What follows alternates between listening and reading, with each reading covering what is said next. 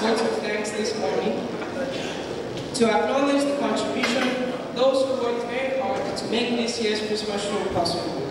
I, Chuka Emeka Nyobi, on behalf of Brentwood School and the entire fraternity of the institution, first of all, extend my most sincere thanks to the Almighty God for making this event a success.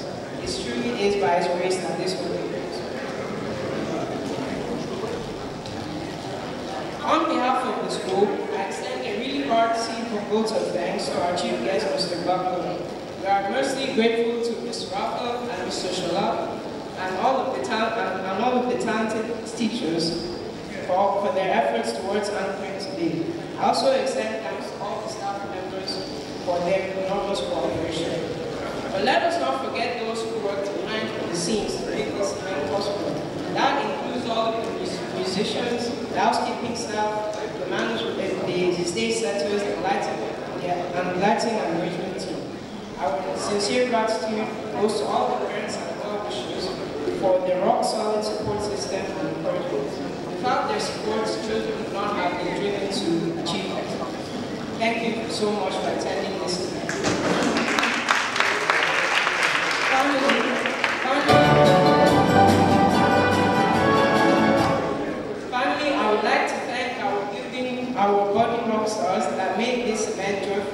Their impressive performances. Your days of hard work were evident in your acts.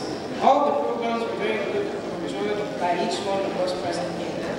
But last but not least, a big thank you to each and every one of you who made this annual Games celebration memorable for all of us.